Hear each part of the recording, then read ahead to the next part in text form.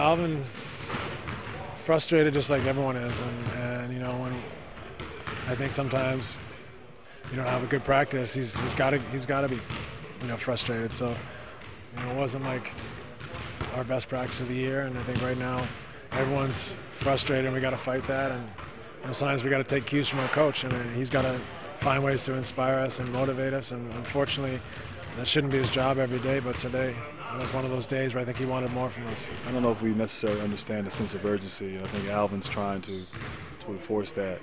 Um, you know, this this was a tough week for us, and um, it wasn't one of our better days. Let's put it that you way. know, we we didn't have the focus what we, uh, what we should have, and um, definitely we didn't play the way he expected.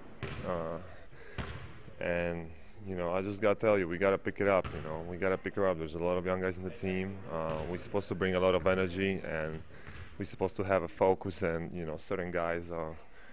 Uh, they got nothing to do just besides playing basketball here in the practice, you know, and and um, we're just not bringing every day. That's that's uh, that's the point. And uh, you know, we are in a critical situation right now. Um, probably next lost game can cost us, you know, playoffs. So we can afford, you know, to come every day now and and and and just screw up, you know, and play some crap basketball. You know, we should come in work for 45, uh, you know, 45 minutes, one hour, and, and, and you know, give 110%.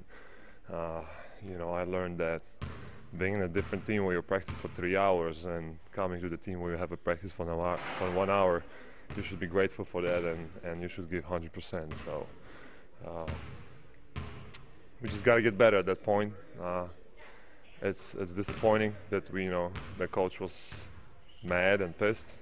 He got right to be pissed, and we're gonna try to change this.